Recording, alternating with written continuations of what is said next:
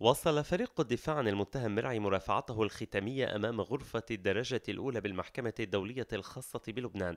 وقد رأى الدفاع عن مرعي أنه ووفق الخبراء كما قال يمكن التلاعب في سجلات الهواتف التي اعتمد عليها فريق الإدعاء. اليوم نترافع أمام محكمتكم وأمام ضمائركم عن حقوق ومصالح السيد حسن حبيب مرعي وفي خصوص ملف الملف الذي قدمه السيد المدعي العام ضد السيد مرعي لا يسعنا إلا أن نقول بأن المدعي العام لم يقدم أدلة كافية لإثبات الاتهامات التي وجهها إليه دون أي شك معقول.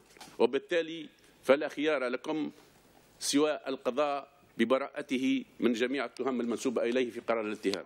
بعد ذلك بدأ فريق الدفاع عن المتهم عنيسي مرافعته الختامية والذي اعتبر أنه من الخطأ القانوني الاعتماد على الأدلة الظرفية للحكم وأن الشهود الإدعاء الأساسيين موظفون لدى الإدعاء. فريق الدفاع عن عنيسي قال إنه لم يتم إثبات أن عنيسي كان في طرابلس وأن المتهم لم يكن لديه ثلاثة هواتف إنما هاتفه الشخصي معتبرا أن المنطق المعتمد غير مقبول من الناحية الثبوتية. محامي الدفاع عن عنيسي قال في موضوع بيانات الاتصالات أن المنهج العلمي ليس بمنهج صحيح معتبرا أنه لا يمكن التوصل إلى أي استنتاج بناء عليها.